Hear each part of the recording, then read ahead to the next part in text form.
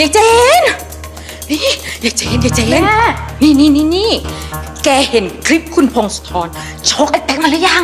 แม่นั่นแหละ เห็นคลิปพี่เป๊กให้สัมภาษณ์กับพี่เมย์บ้างหรือยังแล้วมันพูดว่าอะไร ก็เรื่องที่คุณพงศธรไปชกพี่เป๊กนั่นแหละอืมพี่เป๊กก็ให้สัมภาษณ์ว่ามันมาจากที่คุณพงศธรอะ หึงหวง แล้วยังบอกอีกนะว่าตัวเองอะ คุยกับพี่เมย์มานานแล้ว โดยที่ไม่รู้ว่าพี่เมย์คุยกับคุณพงศธรเหมือนกันชิบหาย ถ้าพูดอย่างเงี้ย ยายเมย์ก็เสียหายอะสิ คุณเป๊กคะตกลงเรื่องที่เกิดขึ้นในคลิปความจริงเป็นยังไงคะ ที่มีข่าวว่าคุณเป๊กกับคุณเมย์คบกันมาตลอดเรื่องจริงหรือเปล่าครับ ตกลงที่มีข่าวบอกว่าคุณเป๊กไม่เคยรู้มาก่อนว่าคุณเมย์อะคบกับคนอื่น เรื่องจริงเป็นยังไงคะ เดี๋ยวนะครับ อย่าพูดจาให้ร้ายเมย์แบบนั้นได้ปะเมย์เป็นผู้หญิงที่ดีนะครับ ไม่เคยมีใครไม่ทำอะไรผิดพลาดนะ ไว้ พอรู้สึกผมพร้อมเมื่อไหร่ผมชี้แจงทีแล้วกัน ขอตัวนะครับ คุณเป๊กคะคุณเป๊กครับคุณเป๊กครับคุณเป๊กครับคุณเป๊กครับคุณเป๊กครับคุณเป๊กครับไม่ใช่นางเมย์คนเดียวนะคะ ที่ซวยจากคลิปที่ท่านส่งมาให้ดาวปล่อยในโซเชียลตอนเนี้ยโรงแรมของคุณพงศธร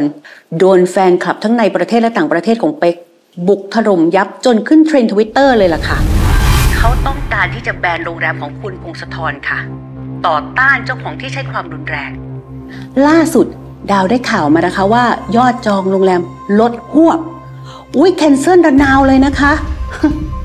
งานเนี้ยบอกได้เลยว่า ทั้งโรงแรมในประเทศและต่างประเทศ ย่อยยับเลยล่ะค่ะ เรียกได้ว่า